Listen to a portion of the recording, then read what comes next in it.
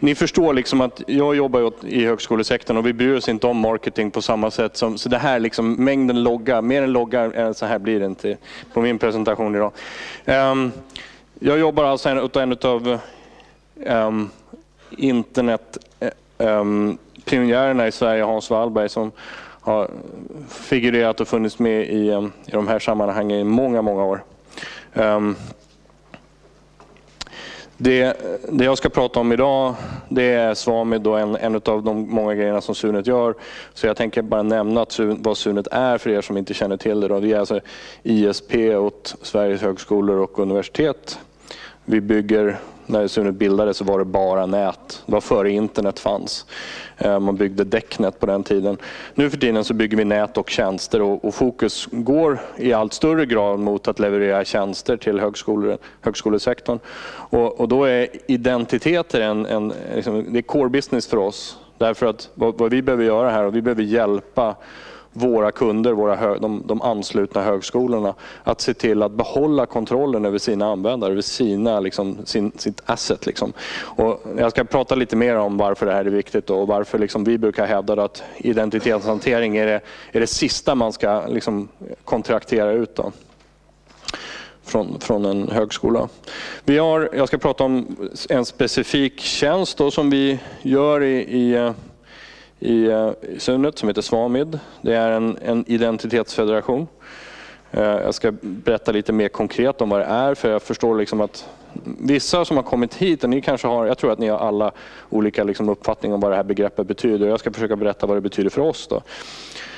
Eh, I, I termer av skala då, så är det väl här inte en jättestor federation. Om vi tittar på våra kollegor i, i, i England och i USA som har betydligt fler, så, så där kan vi där kan det se ut så här med, med, med helt andra, med, med no, extra nollor på. Då.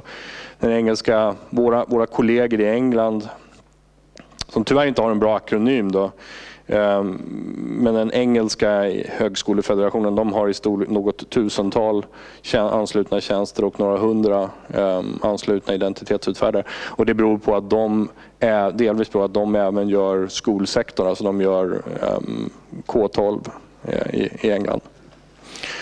Ehm, så ni, jag vet inte, man brukar säga att för att göra en bra sån här fransk bœuf bourguignon så ska man ha hälften kött, hälften lök och hälften vin. Och det här är ungefär som, som vi bygger en identitetsfederation. Vi bygger den på hälften processer, hälften teknik och hälften förtroende.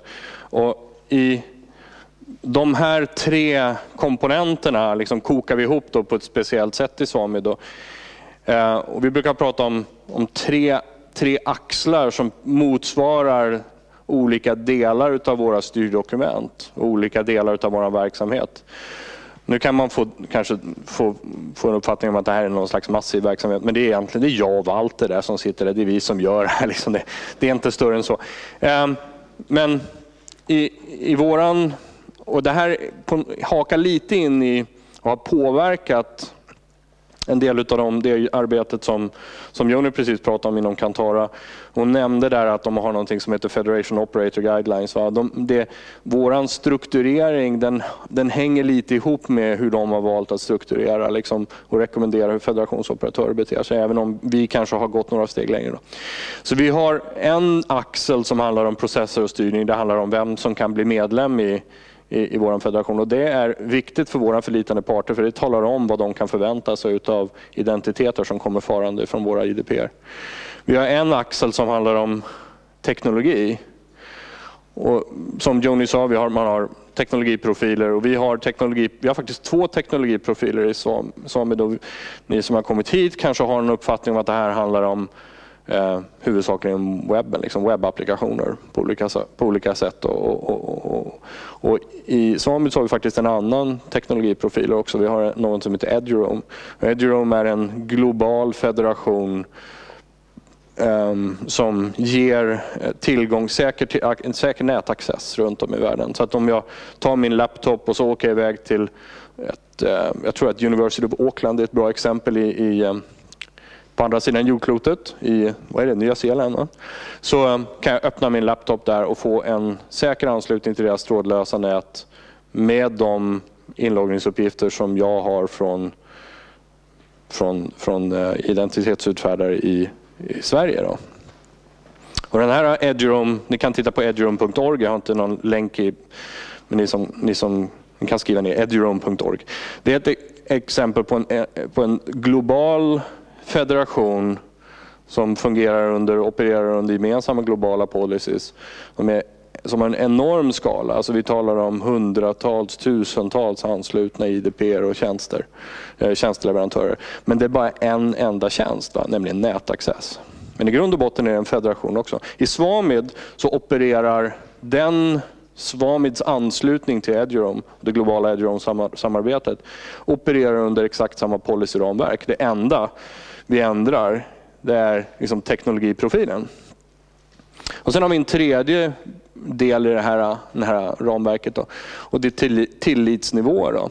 Och i, I högskolesektorn brukar vi säga att vi, jag ska återkomma till det, att vi liksom har någon slags Level of Assurance 2-mål. Att det är där någonstans vi är. Men vi har ännu inte kommit så långt så att vi har gjort formella akkrediteringar. Och det beror delvis på att det har faktiskt inte funnits någonting att validera sig mot, att akkreditera sig mot. Det är en av de skälen varför vi är, engagerade i Kantar-initiativet. Därför att det ger oss liksom en måttstock. Liksom.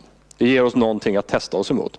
Är vi rimligt på banan eller är vi totalt ute och cyklar? Så i Eduroam så har man egentligen ganska lågt ställda krav på, på identiteters kvalitet. Och där lägger man sig grovt på en level of assurance 1-identitet. Det finns de, det finns de federationer i Eduroam som har, en, har högre, uppfyller högre krav. Men i princip så resonerar man så här, det handlar om nätaccess. Och det är inte så att man får tillgång till några tjänster bara för att man blir insläppt på nätet. På nätet men det ger en grund. Det, så det handlar om egentligen en, en tjänst som är av inte enormt högt värde. Det, det finns ett värde i nätaccess men den är inte enormt hög. Och på samma sätt, då, för att koppla tillbaka till Johnny igen, då, när man har tittat på den riskbedömningen, vad är, vad, är, vad är värdet av en förlorad identitet som bara ger tillgång till nätaccess? Ja, men det är någonstans här. Då. Ja, men då, då, då, då spenderar vi inte mer pengar än hit på den identiteten. Medan en identitet som ska ge tillgång till exempel ett, ett antagningssystem eller något annat affärskritiskt, ja, men då får vi spendera oss upp hit. Va? Ehm, um, vår andra teknologi då i, i, i Svami då, det är den här SAML Web SSO. Det är alltså en, i grund och botten en, en, en webb single sign-on. Vi använder oss av uh, profiler, samhällsprofiler för er som är så lagda då, som är ganska nära det som man idag kallar för e-government 2.0. Um, ehm, e-government 2.0 har sin, sitt kulturella ursprung i en profil som några av oss tog fram som heter SAML 2 int eller SAML 2 Interoperability Profile. Som är en, vi i princip kastade bort en massvis med grejs ur, ur SAML. Vi plockade bort en massa val som vi kände att det här kommer vi aldrig kunna få interoperabilitet på. Vi tar liksom det, det, det, mest, det enklaste fallet som vi kan få någorlunda rimlig säkerhet på. Och så kallar vi det för SAML 2 int. Sen så tog eh, vissa grupperingar då som tyckte att vi behöver lite till och, och gjorde det här e-government 2.0. Och det är många Ehm, statliga federationer där ute i världen som fokuserar på e-government 2.0 idag. Då. Så det, det, är väl någon slags någon konvergens mot interoperabilitet baserat på samhälle e-government 2.0. Så mm, de här axlarna, då, för att bara hoppa tillbaka, då, de, de motsvarar ett antal styrdokument som vi har i vår policy. Och det här, jag spenderar lite tid på det här för att göra det här med federation extremt konkret för er. Då. Ehm, jag kommer att bli teknologikonkret lite senare också, vad det faktiskt innebär att köra en sån här grej. Då. Vi har en grundläggande policy, det är vårt, det är vårt governance-dokument. Det talar om vem som kan bli medlem, det talar om hur, hur man blir utsparkad ur federationen om man missköter sig. Det talar om vem som, är, vem som äger för rätt att förändra våra styrdokument. Det talar om vilken, vilken vår styrgrupp är och vilka våra huvudmän är. Sen har vi något som heter en Basic Identity Assurance Profile som är en, i princip en LOA 0, en Assurance Level 0. Det är alltså det, de gemensamma förväntningar som alla federationer, som, alla, alla teknologier som är inhakade i SAMID uppfyller. Och det är sådana här grundläggande saker som att det är någon som hör till högskolesektorn som, som är associerat med identiteten. Så den profilen är väldigt, väldigt kort och den egentligen följer inte några av de ramverk som Johnny har pratat om. Va? Utan vad vi håller på med nu då, det är att etablera mera formaliserade Level of Assurance 1 och Level of Assurance 2-profiler på det. Jag tror att Walter kommer prata lite om en av dem, om, om OEX-grejen. Ja, lite grann. Um, men, men för, för, oss är det väldigt viktigt att vara tydlig med förväntningar. Alltså det här är det som, som förlitande part i högskolornas identitet, Det här är det du kan förvänta dig, minst.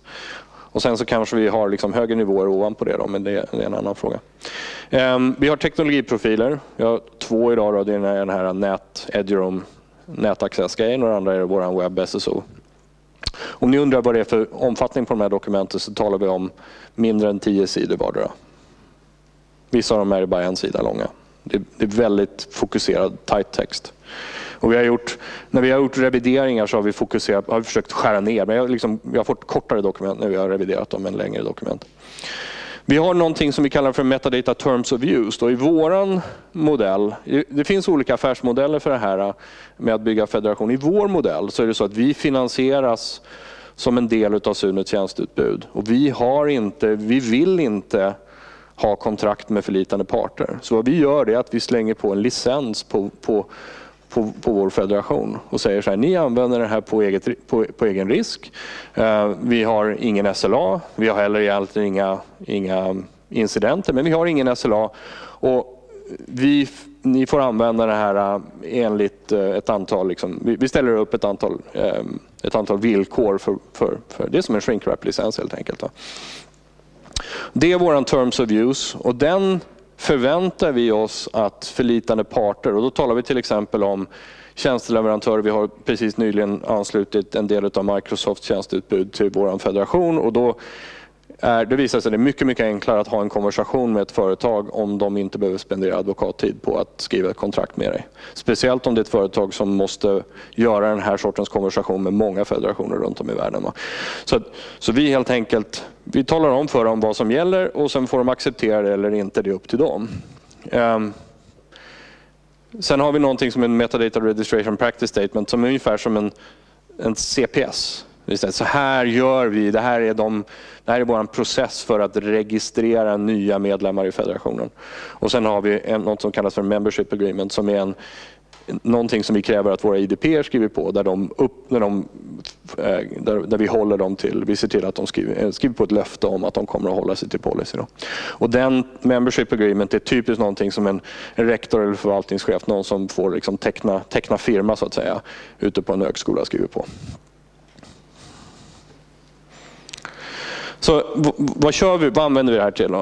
Vi, har, vi har inte byggt de här, den här federationen för, för skojs skull utan vi har byggt den därför att det finns konkreta, väldigt påtagliga intressen för, för att, för att eh, göra identitetshantering för multipla tjänster.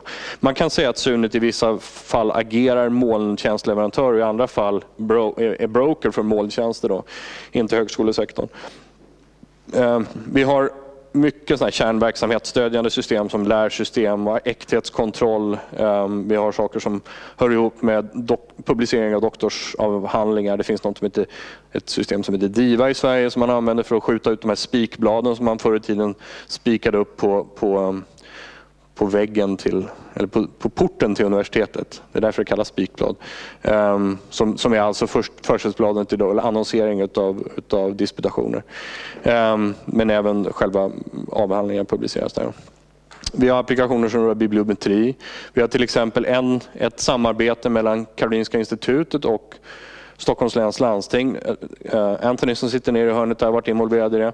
Som häng, handlar om forskningsfinansiering. Alltså Karolinska institutet och Stockholms läns landsting har båda forskare som, som, som jobbar i Stockholmsregionen och de publicerar artiklar. Och i, i, i, I den finansieringsmodell de har så får man pengar i relation till hur mycket citerade ens artiklar är. Och då har de en stor databas där forskare går in och säger men den där artikeln har jag skrivit. Och den där artikeln har jag skrivit. Och det är jag som har skrivit den artikeln. Och nu, eftersom det där då är direkt relaterat till hur mycket pengar de får nästa år eller nästa finansieringsomgång så, så spelar kvaliteten på identifieringen roll. Kan man säga. Det är inte, ni kan inte tro att läkare inte skulle fuska med det här om inte de kunde. Liksom. Ehm, vi har antagningshanteringen i Sverige. Kristina Leve sitter där nere. Ehm, hon har, varit, eh, hon har varit den som har drivit det här från Verken för högskoleservice. Antagningshantering i Sverige är en federerad applikation. När du söker, både när du söker första gången och andra gången så används identiteterna som du, som du både får i handen från VHS och som du får i handen av högskolesektorn för att provisionera varandra under loppet av en, en, högskol, en, en students liksom, livslängd i systemen. Vi har eh, gemensamma tjänster för e-postfiltrering. Eh, e-möten är en av våra största grejer. Vi bygger liksom gemensamma e-mötestjänster som gör att folk inte behöver resa så vansinnigt mycket. Ehm, vi utfärdar faktiskt certifikat, personliga certifikat baserat på våra identifieringar. Så det kan ty tyckas lite tvärtom, omvända världen. Då. Men det, det finns alltså um, områden i forsk forskningsområden där man använder personliga certifikat för att identifiera sig mot olika former av grid och molnresurser och där utfärdar vi dem också baserat på de här Eh, certifieringarna. Och det finns även gemensamma inköpssystem i högskolesektorn, alltså upphandlingsnätverk som är kopplade till olika former av e-commerce eh, system som också baseras på de här, där man helt enkelt går och handlar för, sin, för sina forskningspengar eller vad det nu kan vara baserat på de här identiteterna. Um, jag har en kollega, jag vet inte om han har hunnit hit men han, han har det där begreppet att ha ett tjän. Man ska alltid ha ett tjän på allting man gör. Ehm, man måste hitta en vinst, någonting som gör det värt att göra. Tjänet för, för våra användare, för våra kunder på Federation, det är, det är en, en bit kostnad, kostnadskontroll. Vi brukar jag brukar prata om benchmarking som, som är gjord som visar att det kostar ungefär 30-40 euro att upprätthålla en identitet per år. Liksom om du bara är helpdesk-kostnader om det handlar om att resetta credentials och ha sig. Liksom. Och, och de kostnaderna det, det, det bygger upp ganska rejält. Eh, det är också förklaringen till varför det här är en stor stort i, i, i, i, i vertikaler som inte har så mycket pengar i relation till hur många kunder de har. Så vi har ju fantastiskt mycket kunder i högskolesektorn. Vi har, vi har nästan alla liksom, som är födda går igenom högskoleutbildning på någonstans. Men vi har inte betalt, i, det är inte så att vi får betalt i, relation, i samma relation till hur mycket användare vi har. I någon mening får vi det men inte, inte i direkta inte, liksom i, i, inte så att det kan liksom finansiera en, en, en, den här sortens verksamhet. Och Det betyder att har man tjänster som, som, som, där du har mycket användare så måste du vara effektiv på att hantera de användarna. För annars går du helt enkelt inte ekonomin ihop. Och det, är en, det är en anledning tror jag varför, varför det här har blivit det är stort inom högskolesektorn runt om i världen. För att ekonomin ser ut så här för, för oss. Då i vår branschsektor. Ehm, I, I, vissa fall handlar det om policykvalitet, externt ställda policykrav. Då. Vi har till exempel den här, ut, den här certifikatsutfärdandet som jag nämnde. Där är det glo, andra globala federationer som ställer krav på kvalitet på identiteter som, som direkt översätts till vad vi gör. Då. Och till sist, men då absolut inte minst, och det är det som kanske var den, det är den dominerande skälet, och det är provisioneringen för molntjänster. Alltså vi, vi fungerar i allt större grad som brokers. Att vi, vi köper tjänster åt våra, våra anställda, våra, förlåt, våra kunder. Och, och de här tjänsterna är ingenting som vi bygger utan vi köper dem av liksom företag. Vissa av er finns här liksom och andra finns på annat håll. Va? Men det de har gemensamt är att de har samma ekonomiska problem. Liksom ett, en, ett, ett företag som levererar e-postfiltrering ifrån, ifrån, ett, från, från liksom något, någon liten startup i Kalifornien kan inte hantera identiteter. Flera miljoner, hundratals miljoner identiteter. Utan de är också beroende av att någon annan gör det åt dem. Och det är därför som molnbranschen är så fokuserad på identitet, federativ identitet idag. Så jag ska, hur mycket tid har jag på mig? Ingen? Nej, bra. Då skiter vi i detaljerna. Um, ni får gärna komma och prata med mig och fråga hur det faktiskt ser ut i praktiken. Men vi hoppar över till det där. Precis. Har vi någon fråga till Leif? Hur fungerar det i praktiken kanske? Ja, vi, vi säger, jag kan säga vad vi gör, vad vi håller på att titta på framöver. Det är en av de sakerna som kommer att bli stort om ett par år det är, tror vi, att gå bortom webbapplikationer. Det finns teknologi som är på gång inom IETF som kommer att låta oss göra samhäll, samhällbaserad eh, autentisering fast för saker som inte är webbaserade. Och I vår i våran miljö så är saker som SSH och IMAP och NFS, liksom federerad lagring till exempel för, för stora beräkningskluster. Det är en realitet, ett reellt problem idag och det är saker som vi tittar på lösning på. Eh, vi, och det finns väldigt intressant teknologi som är på gång. Och den andra grejen som jag ska lyfta då, det är att det, det är federationsteknologi som är på gång som många molntjänstleverantörer kommer att börja titta på snart som heter OpenID Connect. OpenID har säkert många hört talas om. OpenID Connect har väldigt lite med OpenID som den ser ut idag att göra utan det är mer en slags SAML version 3. Ehm, en, en SAML baserad på JSON istället för XML. Den teknologin tror vi kommer att bli väldigt stor just bland eh, massiva molnleverantörer. Eh, om jag ställer en fråga då, då. Vad är det för volymer vi pratar om i Svamid? Alltså antal Så. användare, transar? Vi, vi, vi, är en, det hade jag, jag tror jag inte har berättat om det, vi är en väldigt, väldigt distribuerad federation. Alltså vi motsvarar, man kan bygga federationer antingen som eh, allting går förbi en punkt som ett nattat nät liksom, eller som ett rotat nät med en full mesh-topologi. Och vi är, vi är en full mesh. Det betyder att vi vet egentligen inte hur mycket transaktioner våra användare gör men vi vet hur många användare vissa tjänster har. Och Det tyder på att vi har alltså aktiva användare, något hundratal tusen skulle, vi, skulle jag tro, då, som springer runt i systemet. I potentiellt så brukar man räkna med att det är i storleksordningen 500-600 000 användare i högskolesektorn hela tiden. Och alla de idag har en, ident en federativ identitet. Eh, det får de liksom i handen när de börjar plugga. Hur många som faktiskt använder den för olika saker är svårt att säga. Då. Jag antar att det enda sättet att nå vissa av de här tjänsterna det är just via Svamid? Ja, precis. Det är så det ser ut. Då. Ja. Det var det. Andra frågor? Yes, Anthony.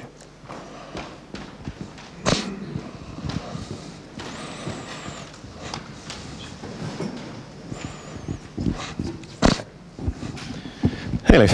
Eh, Jag har inte så mycket frågor, mer än en kommentar. Det verkar komma upp mycket diskussion om kostnader och kostnadssparingar. Och, eh, egentligen man kan se det, det, det är inte som en besparing man får, man får en förflyttning av kostnader. Och kostnaden förflyttas till en identity provider-tjänsterna. Och man har fortfarande samma kostnad för användarna men genom att använda samma identity provider för multipla tjänsterna, då behöver man inte duplicera de här kostnaderna. Nej, det, det är så det ser ut ofta. Så är det så att många av de sakerna som vi gör, det skulle helt enkelt inte bli gjort om vi inte kunde göra det här. Så det, det, det finns inte på kartan att vi skulle ha kunnat spara pengarna helt enkelt. Så att... Kostnaden för att ansluta en ny tjänst, eh, tjänste den som vill ha mer här. Alltså, vi tar ju inte betalt då, överhuvudtaget. Va?